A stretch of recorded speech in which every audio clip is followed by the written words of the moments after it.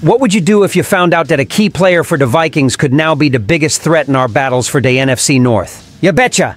Da most shocking twist of day season just happened and every Vikings fan needs to notice now. Let's blow up the comment section and show our Viking spirit, you know? If we hit 100 comments and likes, we'll get a better player to replace him. So, hit that subscribe button and let's get to the news. I know, every Vikings fan has their pre-game ritual, whether it's wearing their lucky jersey or making a special snack. But today, I ask you to pay a little more attention. Remember that kick that stays in our minds? Da moment when we hold our breath, cross our fingers, and, well, for the Vikings, those moments have been a bit, how can I put it? Ah, too darn exciting and not necessarily for the best reason. Over the past few years, we've been on a roller coaster when it comes to kickers. So I ask you, how do you feel about the reliability of our kickers?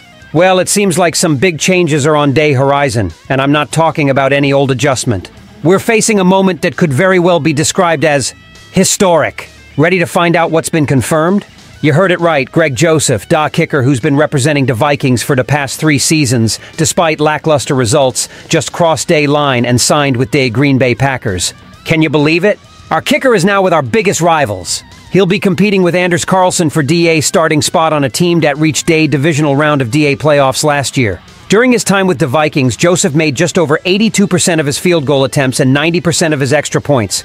Numbers that are below day league average. And let's not forget he's consistently been listed among DA bottom 10 kickers in Day League in terms of performance. But what about the future?